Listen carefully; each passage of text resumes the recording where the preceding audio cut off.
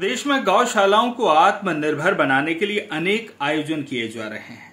गौशालाओं को आत्मनिर्भर बनाने गौरक्षक संकल्प लेकर किसानों और गौपालकों को जागृत किया जा रहा है। इसी सिलसिले में गोठीगांव के ग्राम श्रीनगर में 19 से 31 जुलाई तक ग्रामीण स्वरोजगार प्रशिक्षण संस्थान नरसिंहपुर सेटा सिटी एवं अनुविभागीय गौशाला परियोजना क्रियान्वयन समिति गोटेगांव द्वारा पंचगव्य गौ उत्पाद प्रशिक्षण शिविर आयोजित किया गया।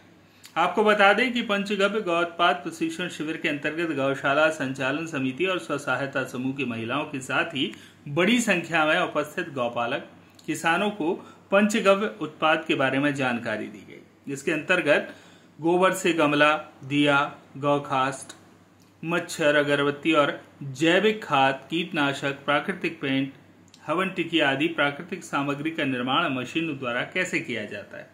इस संबंध में गौशाला संचालन समिति द्वारा प्रशिक्षण दिया गया प्रशिक्षण कृषि विज्ञान केंद्र, वैज्ञानिक कृषि उद्यान की, पशुपालन एवं अन्य विभागों के सहयोग से दिया गया। उपस्थित गौ पालकों को वैज्ञानिक ढंग से तकनीकी जानकारी प्रदान कर, दुग्ध उत्पादन को प्रोत्साहित करने, उनकी आर्थिक स्थिति में सुधार एवं विकास के साथ ही व्यवसायिक क्षेत्र प्रदान कर नए नए पंचगव्य आधारित रोज़गार कार्यक्रम सिखाए गए। आयोजन में गौशाला, गोटेगांव अनुविभागीय क्रियान्वयन समिति के सदस्यों के साथ ही कृषि वैज्ञानिक, राष्ट्रपति सम्मान से पुरस्कृत रोशन विश्वकर्मा ने भी तकनीकी जानकारी दी। गोटीगांव से अनिल जैन की रिपोर्ट।